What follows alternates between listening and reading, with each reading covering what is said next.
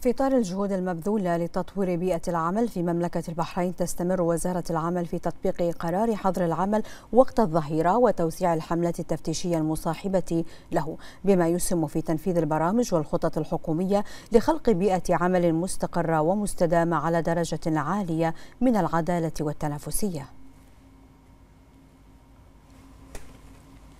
تأكيدا على الالتزام بأعلى المعايير العالمية للصحة والسلامة المهنية تم بدء سريان تطبيق قرار حظر العمل وقت الظهيرة من الساعة الثانية عشر ظهرا وحتى الرابعة عصرا في شهري يوليو وأغسطس للحفاظ على بيئة عمل آمنة ومرنة وجذابة.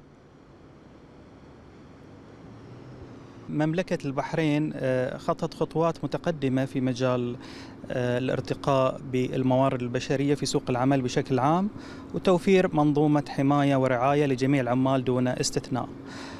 يمثل قرار رقم ثلاثة لسنة 2013 بشأن حظر العمل وقت الظهيرة أحد أوجه الحماية من المخاطر الطبيعية.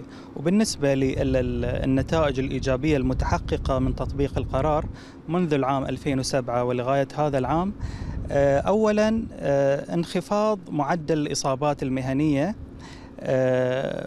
وتحديدا ضربات الشمس وأمراض الصيف والإجهاد الحراري بنسبة تجاوزت 60% مقارنه بالفترة التي سبقت تطبيق القرار بالإضافة إلى انخفاض معدل الحوادث المهنية والإصابات الجسيمة الناتجة عنها بنسبه تجاوزت 40 في المئة بالنسبة للخمس سنوات الماضية. بالإضافة إلى ذلك ارتفاع مستويات الإنتاجية لدى المنشآت وأصحاب العمل بسبب تأمين ظروف العمل الملائمة. هذا القرار يأتي في إطار الحفاظ على سلامة وصحة العاملين في هذه الفترة التي تشهد ارتفاعا في درجات الحرارة وزيادة في نسب الرطوبة ويؤكد على وعي القطاعات المعنية بأهمية تطبيق كافة الاشتراطات والمعايير.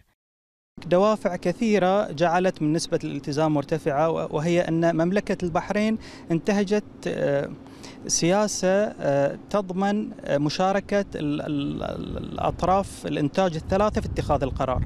أطراف الإنتاج الثلاثة المقصود فيها طبعا ممثلي أصحاب العمل ممثلي العمال وبالإضافة إلى الحكومة. وبالتالي هم شركاء في صناعة القرار ولم يتم فرض القرار عليهم فرضا. بالإضافة إلى النتائج التي لامسها أصحاب العمل جراء تطبيق القرار. وزارة العمل دعت أفراد المجتمع للإبلاغ عن أي ممارسات غير مسؤولة أو إخلاء بالقرار عبر التواصل مع مركز البلاغات على الرقم 322 657 27 حتى يتم تطبيق معايير الحظر في بيئة سليمة صحية وآمنة تحقق أعلى مستوى من السلامة المهنية والصحية للعمال خلال فترات الصيف. شوق العثمان لمركز الأخبار تلفزيون البحرين.